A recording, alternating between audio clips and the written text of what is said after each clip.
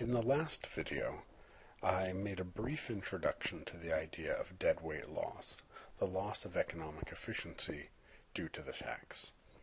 And again, remember the reason why the tax creates deadweight loss isn't because it raises tax revenue, and it isn't because it transfers resources from the private sector.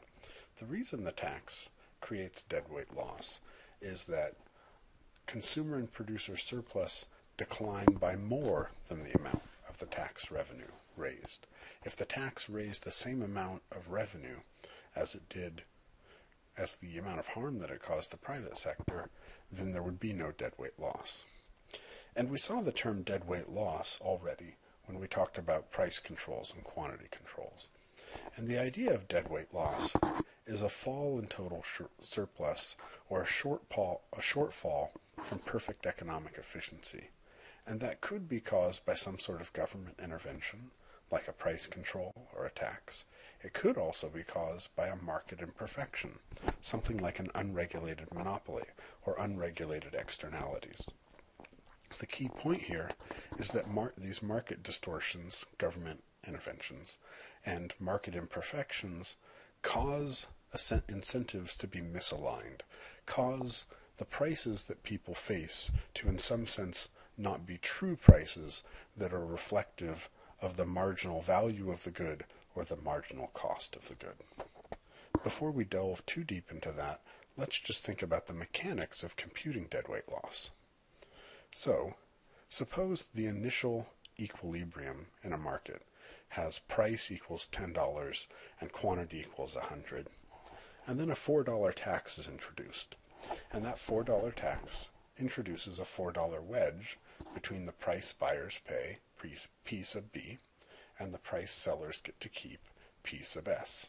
And it also reduces quantity demanded, quantity transacted to 80. So how can we calculate the deadweight loss?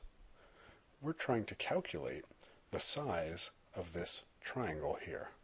So we want to think about it having a base equal price paid by buyers minus price received by buy- sellers, and it has a height equal to the fall in the amount of transactions. So we go ahead and then take those numbers and apply them to the area for computing, the formula for computing the area of a triangle, 1 half base times height.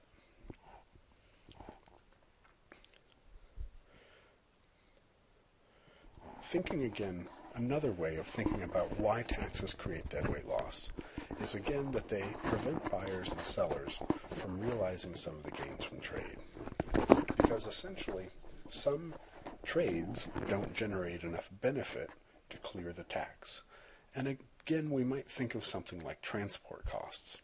It might be true that someone in one place values a good more highly than it costs someone else to produce it. But unless the difference between that value and that cost is large enough to overcome transport costs, then they're not actually going to make the trade. And so the transaction won't go forward.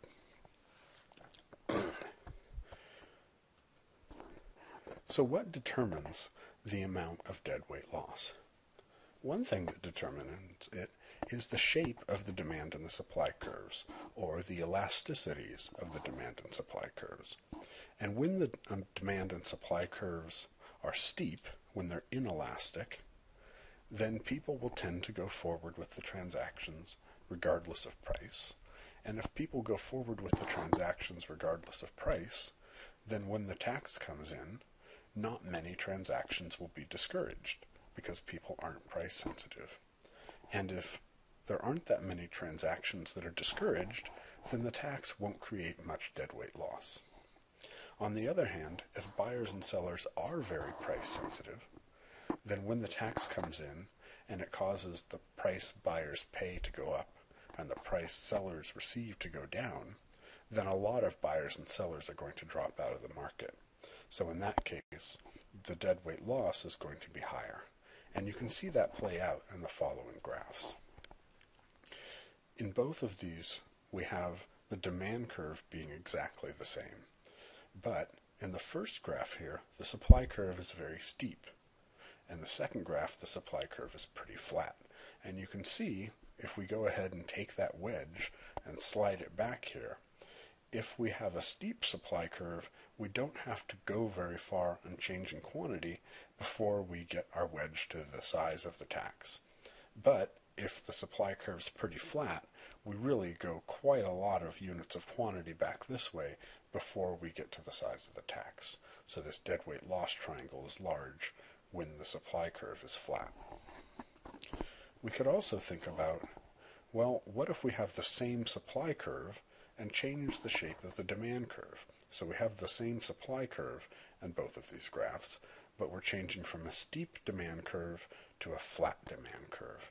And you can see that this flatter demand curve gives us a bigger deadweight loss triangle than the steeper demand curve. Essentially, because of all that, if you were interested in having a tax that created the least amount of economic inefficiency, you would want to tax things that were inelastically demanded or inelastically supplied, or ideally both. So, this is one reason why taxing things like gasoline or cigarettes makes sense, because those things tend to be inelastically demanded. People are hooked, addicted, either literally in the case of tobacco or metaphorically in the case of gasoline. Likewise, taxing something like real estate makes a lot of sense because when you tax real estate, nobody's going to go ahead and take their real estate and move it to some other state. It's pretty much fixed where it is, and people can't withdraw their real estate from supply very easily if you decide to tax it. On the other hand, taxing things like sales taxes gets a little bit trickier because people do have some choice where they purchase their goods from. Likewise, at the very beginning of this series of video lectures, when corporations think about where they're going to declare their profits, they have quite a bit of latitude in thinking about where they're actually going to declare their profits. Whereas individuals are pretty unlikely to change their country of residence. And that's one of the reasons why, if you're thinking about balancing a corporate income tax with a dividend tax, it probably makes more sense to go lighter on the corporate income tax and heavier on the dividend tax. Another thing to think about here is the effect of the size of the tax itself. Often what we're really interested in is how much deadweight loss are we creating per dollar of tax revenue raised? Because, of course, a bigger tax raises more in the way of revenue, but it also is going to create more in the way of deadweight loss. And we can see that in the following slide. A small tax creates a small deadweight loss and raises a modest level of revenue. As we increase the size of the tax, of course, we get more tax per transaction. This length grows. We also get fewer transactions, but at least at first, as we transition from a low tax to a moderate tax, we're going to increase total tax revenue. And I think it looks pretty plausible that this box here in the middle of tax revenue is bigger than this box over here. But notice, although the tax revenue grows modest, modestly, but probably grows, the deadweight loss triangle grows pretty dramatically here as we go from this low tax to this moderate tax. So if we were looking at tax revenue versus deadweight loss and the amount of economic inefficiency we created per dollar of tax revenue, economic inefficiency per dollar of tax revenue would be low here and would be high here and would be really high over here. And it even looks like in this case of a really large tax, we probably have somewhat smaller total tax revenue than we do in this middle panel here. The relationship we think typically between these things goes something like this. That as we increase the size of the tax, the deadweight loss grows and it increases at an increasing rate.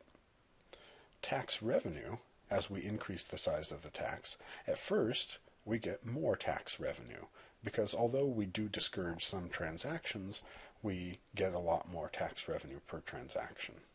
Eventually, though, we start losing so much on transactions that it doesn't make up for the fact that the tax per transaction is higher. And we could eventually go so far as to raise the tax so high that we completely wipe out the market, in which case, of course, we don't get any tax revenue at all. In the context of something like the income tax, you might sort of go, well, thinking, that, thinking about the tax rate, of course, if we have a 0% tax rate, we get zero tax revenue. And if we have a 100% tax rate, we probably get zero tax revenue. Because even if people are still working, they're probably not going to report their income if they're going to pay a 100% tax rate. As we cut the tax rate from 100%, we're going to increase our tax revenue. We certainly can't decrease it. And as we increase the tax rate from 0% to 1%, we're going to get more tax revenue, of course. So somewhere in the middle, there has to be a tax rate which maximizes revenue. And sort of at that level, the theory is almost kind of irrefutable. It, sort of can't be any other way that somewhere between 0 and 100%, there is a tax rate that maximizes revenue. All that said, it's a little bit trickier to know where to go from there. So I'm going to go ahead and have you guys think about this one for your quiz. And then I'll sort of go into just a brief history of how this curve, this Laffer curve that maps the relationship between the size of a tax and the amount of revenue it generates, played out historically. And if you go back in U.S. history, you sort of see that back before the late 1970s, the top tax rates in the U.S. were somewhere in the 70 to 90 percent range. And it looks pretty clear that reducing tax rates from the 70 to 90% range to, to merely 50% almost certainly increases tax revenue. So, in the sort of early 1980s, there was a tax reform that reduced the top tax bracket from 70 to 90% to merely 50%. And it's pretty clear that actually that was pretty certain to actually raise tax revenue by cutting tax rates. Later on, people decided that, well, if that worked once, we should keep on doing it, and that becomes a lot less clear. There isn't a lot of agreement on what happens with tax rates and tax revenues um, below 50%. We're pretty sure that if you push them below 30%, you'll be getting less revenue. And probably pushing it up to 40%, you're probably getting more revenue as you push from 30 to 40. And then it gets a lot murkier as you start to go from 40 to 50%. So, sort of to the extent that there's a consensus among economists, it would be that the tax rate that maximizes total revenue is probably going to be somewhere in sort of the 35 to 50% range. Um, so that's sort of the historical context on that.